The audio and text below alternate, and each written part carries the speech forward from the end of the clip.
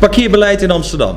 Gonnie van Oudenalle, als altijd op de bres voor het behoud van de mobiliteit in Amsterdam voor Mokomobiel. Gonnie, wat is er nu weer aan de hand met het parkeerbeleid in Amsterdam?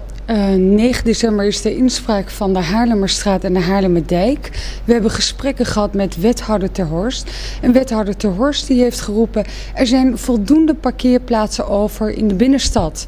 Waarop wij riepen, waarom hebben de mensen die nog geen vergunning hebben dan nog niet een avondvergunning? Nou, dat maakt er allemaal niet uit. Het beleid van wethouder Guusje Horst van PvdA uh, is erop uh, gedoeld dat alle parkeerplaatsen die over zijn weg kunnen. Dat is het beleid, het VIP. Nou, wij uh, hopen in ieder geval in dit verhaal dat de parkeerplekken op de Haarlemmerstraat, Haarlemmerdijk behouden blijven. De wethouder is erg star, erg stram. Het lijkt wel of ze de mensen voor een fait accompli stelt. En wij hopen een beetje daarin dat uh, ja, als er genoeg mensen op 9 december komen pleiten, dat er iets gedaan kan worden. Maar dit beleid van de wethouder is uh, dat gaat toch in tegen wat tijdens de algemene beschouwingen door verschillende partijen heel duidelijk is gezegd. Zelfs haar eigen partij. Dat namelijk het verder opheffen van parkeerplaatsen in ieder geval uh, nauwlettend bekeken moest worden. En de algemene teneur daarvan was van hallo, laten we nu eerst de bewoners eens een uh, vergunning geven voordat we nog meer gaan opheffen.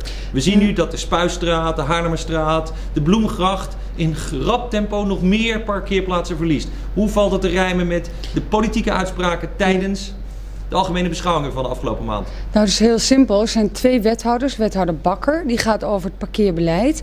En wethouder Guusje die gaat over het weghalen van plaatsen. Nou, dat werkt volgens ons voor geen meter samen. Uh, de wethouder Ter Horst verwijst ons ook verder naar de politiek. Wij denken dat op deze manier er gewoon geen overleg is tussen de twee wethouders en dat er niet meer naar de burgers geluisterd wordt. De burgers vragen bevriezing parkeerplaatsen, de wethouder lacht het bijna weg. Denk je dat uh, de komende discussie over de Noord-Zuidlijn, die op uh, 27 november geloof ik in de ja. gemeenteraad wordt gevoerd, dat daar voldoende rekening gehouden wordt met die mobiliteit van de Amsterdammers? Of is dat ook maar weer een reden om te zeggen, nou, we maken weer parkeergarage aan het eind van de Noord-Zuidlijn en dan moeten de mensen uit de binnenstad daar maar een auto parkeren? Dat is wel waar een deel van, de, uh, van het college eigenlijk naartoe zou willen volgens ons. En wij hopen dat, er gewoon, uh, dat de bewoners van Amsterdam, en de bezoekers is iets anders, bewoners en bedrijven in Amsterdam, niet immobiel worden gemaakt door dit gemeentebeleid. Je ziet het arbeidsplaatsen uh, verlies in de binnenstad. Bedrijven trekken weg. De economische situatie is niet denderend. En toch gaat de wethouder, de wethouders door. Van de week was heel duidelijk dat de teruggang van de werkgelegenheid op klein niveau in de binnenstad zeer duidelijk aantoonbaar is. Er werd zelfs toegegeven dat het ten gevolge van het parkeerbeleid is. Hoe kan die gemeenteraad en het gemeentebestuur nu toch doorgaan met opheffen van uh, parkeerbeleid en het uitvoeren van het verkeersinrichtingsplan, wat op een aantal punten gewoon totaal achterhaald is? Uh, dat is de grote hamvraag. Wij snappen er zelf ook niets meer van.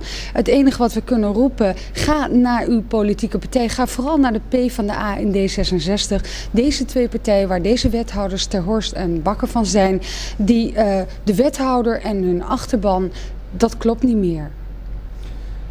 Wethouder Bakker heeft een aantal keren nou, zeg maar, uh, gemist. Mm -hmm. een, een, een, slechte performance geleverd bij het verdedigen van zijn beleid.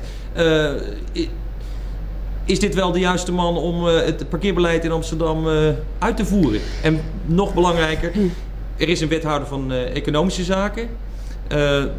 doet hij daar niks aan? Laat hij niet haar stem horen om duidelijk te maken dat de economie gebaat is bij een in ieder geval verstandiger parkeerbeleid?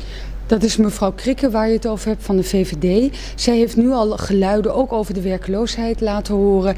Als zij doorgaat in haar beleid, dan denk ik dat de VVD heel goed doet. Maar het is natuurlijk onbegrijpelijk dat een uh, wethouder Bakker en een wethouder Ter Horst het niet meer aankunnen. Zelfs wethouder Bakker, wat je net zei, die een PR-cursus moet gaan volgen volgens ons. Want uh, hoe hij zich uiterlijk vertoont als hij in het openbaar moet spreken, dat is natuurlijk, dat kan niet. Oké. Gonnie van Oudenalle van Mokomobiel, bedankt voor je bijdrage. Graag gedaan.